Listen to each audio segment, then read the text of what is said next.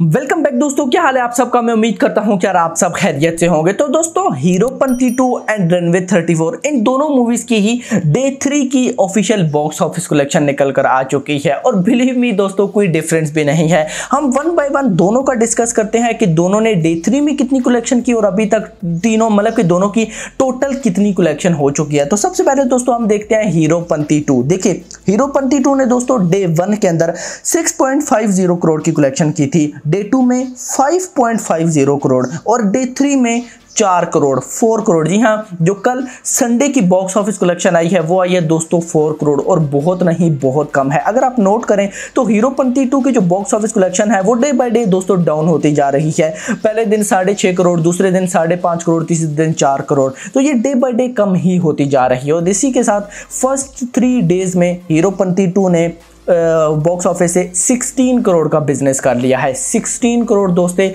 दोस्तों first three days में। बहुत बहुत कम है यार। खैर अगर हम देखें रनवे 34 को तो दोस्तों रनवे 34 ने डे डे वन के अंदर थ्री करोड़ का बिज़नेस किया था। डे टू के अंदर 4.50 करोड़ का बिज़नेस किया। और अभी डे थ्री मीन्स कि कल संडे वाले दिन रनवे 34 ने 5.50 करोड़ का बिज़नेस किया है। मीन्स कि ग्रेजुअली ये ऊपर जा रही है। पहले दिन तीन करोड़ दूसरे दिन साढ़े चार और तीस दिन अभी आके साढ़े पाँच five point five zero crore this is दोस्तों गुड मीन्स के रनवे थर्टी फोर अगर देखा जाए कलेक्शन तो कम है, लेकिन अपने हिसाब से ये ठीक जा रही है। कलेक्शन अच्छी कर रही है और इसी के साथ रनवे थर्टी ने फ़र्स्ट थ्री डेज़ के अंदर थर्टीन करोड़ का बिज़नेस कर लिया है। भले इसकी कलेक्शन अभी ऊपर गई हैं, लेकिन हीरो पंती टू से कम है। हीरो पंती टू ने फ़र्स्ट थ्री डेज़ में सिक्सटीन करोड़ का बिज़नेस कर लिया है और रनवे थर्टी फोर ने थर्टीन करोड़ का। लेकिन अगर पर्सनली मैं अपना बताऊँ तो दोस्तों ऑलमोस्ट दोनों ही मूवीज़ फ्लॉप गई हैं। क्योंकि अगर फ़र्स्ट थ्री डेज़ में मूवीज़ की कलेक्शन फिफ्टीन करोड़ भी नहीं हुई तो यार वो आगे वर्किंग डेज़ में क्या करने वाली हैं हाँ? इनसे दोस्तों के चैप्टर टू को बहुत बड़ा बेनिफिट हुआ है। इनकी जितनी भी स्क्रीन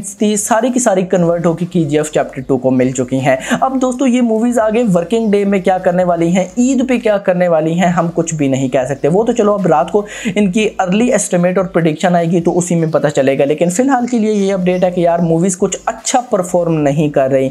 लोगों के माइंड में कोई इतना अच्छा वो इनका इम्पैक्ट नहीं पड़ रहा। फ़िलहाल की दोस्तों मूवीज़ की सूरत हाल बहुत बुरी लग रही है। और अगर ईद के डेज़ में भी, ईद के डेज़ में भी दोस्तों, इनकी कलेक्शन अच्छी नहीं आती तो ये फ़िल्में फ्लॉप होने वाली हैं। बहुत बड़ी फ्लॉप होंगी। खैर दोस्तों, यही थी अभी तक की छोटी सी वीडियो होप से वीडियो आपको पसंद आई होगी। जिन भाई दोस्तों ने अभी तक चैनल को सब्सक्राइब नहीं किया, जल्दी से कर लें, क्योंकि ऐसी अपडेटेड वीडियोज़ हम आप लोग के लिए लाते ही रहते हैं। अगले आने वाली वीडियो तक अपना ख्याल रखिएगा। थैंक्स फॉर वॉचिंग यार। अल्लाह हाफिज़।